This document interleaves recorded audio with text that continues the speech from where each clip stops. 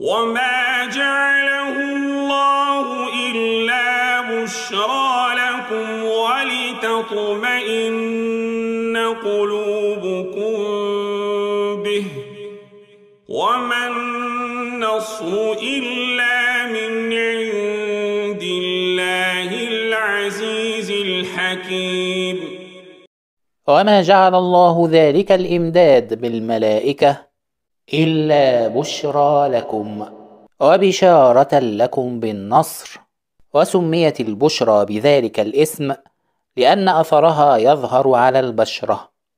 ولتطمئن قلوبكم به ولتسكن به قلوبكم ويزول عنكم الخوف والقلق والتردد. وما النصر إلا من عند الله. ليس بشدة بأسكم وقواكم وليس بكثرة عددكم وعددكم وليس بالملائكة المنزلة عليكم بل إنهم مجرد أسباب والأسباب مهما كثرت والوسائل مهما عظمت لا تؤدي إلى النتيجة المطلوبة والغاية المنشودة إلا إذا أيدتها إرادة الله وقدرته ورعايته. فالله عز وجل قادر على نصرنا على أعدائنا بدون أسباب.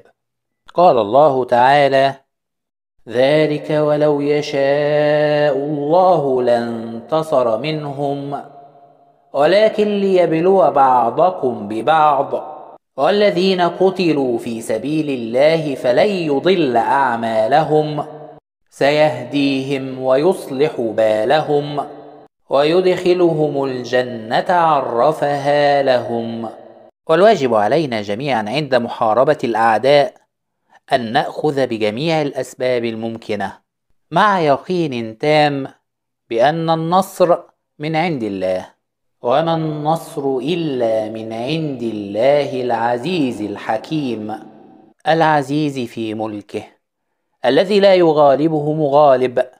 بل هو القهار للكفار مهما بلغوا من الكثرة وقوة العدد والعدد. الحكيم في تدبيره وشرعه وأفعاله. حكيم حيث قدر الأمور بأسبابها ووضع الأشياء مواضعها الصحيحة.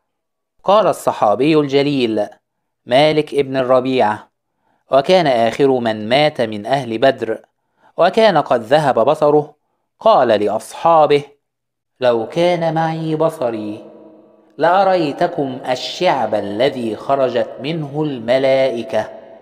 وقال سهل بن حنيف رضي الله عنه وأرضاه لقد رأيتنا يوم بدر وإن أحدنا ليشير بسيفه إلى المشرك فيقع رأسه عن جسده قبل أن يصل إليه السيف.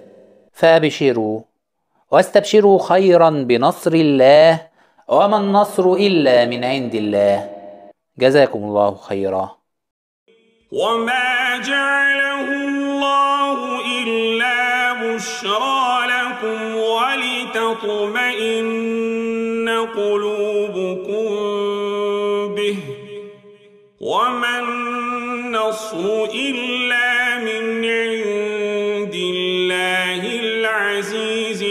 حكيم.